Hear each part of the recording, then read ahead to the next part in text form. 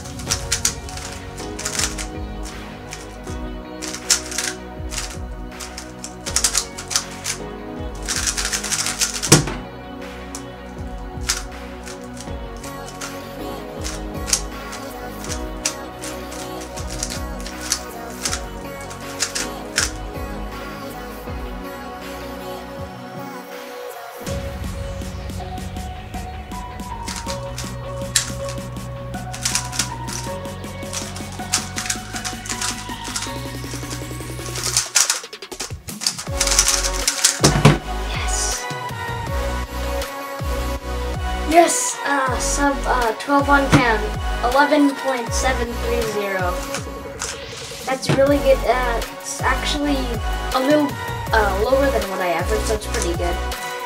And yeah, I hope you enjoyed this video, and I'll see you in the next one. Bye-bye!